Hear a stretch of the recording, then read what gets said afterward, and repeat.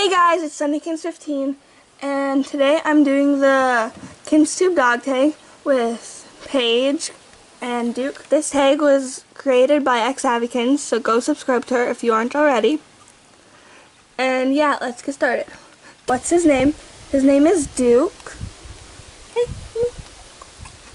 look at me. And he's a Cocker Spaniel.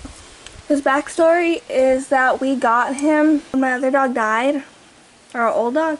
And then we got him like a few weeks after. And yeah, then we got him at KFC, but like we didn't get him at KFC, we just met the people there. And then, hey dude, can we get your face? Look at your face. Good boy. And then we um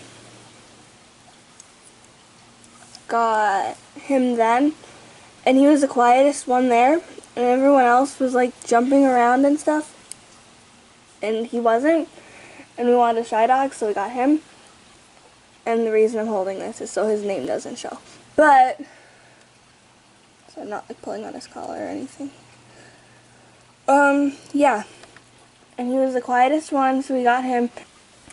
And sorry he's facing that way. Um he's watching outside and stuff. So yeah. Please like comment and subscribe if you like this video and see you later.